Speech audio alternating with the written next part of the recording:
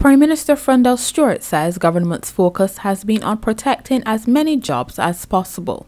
Speaking at a luncheon hosted by the Democratic Labour Party's St. Michael West branch at Ammon Bay Caterers on Sunday, he said simply cutting the public service was not the answer to the country's fiscal problems. When we were told to lay off people, we were told that you cannot get the savings you want by laying off maids and messengers you have to go up the ladder and lay off some of the people at the top who earn big salaries and that is when you will get the savings that you want.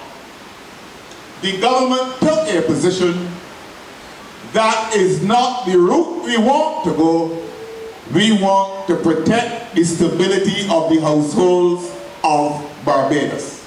And we want to protect the stability of the households of Barbados because the issue we are facing in Barbados today, and you've heard this over and over and over again, is a fiscal deficit issue.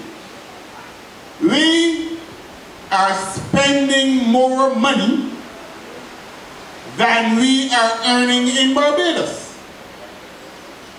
We have not increased the number of agencies that we have to spend money on.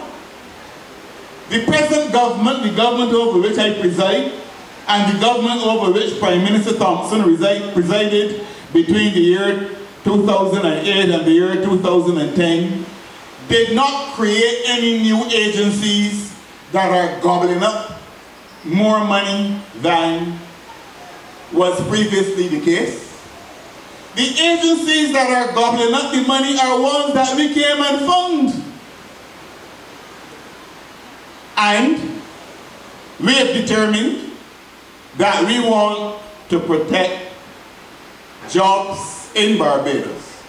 But we said that if there's a gap between what we are earning and, and what we are spending, we have to find other ways to make up that gap.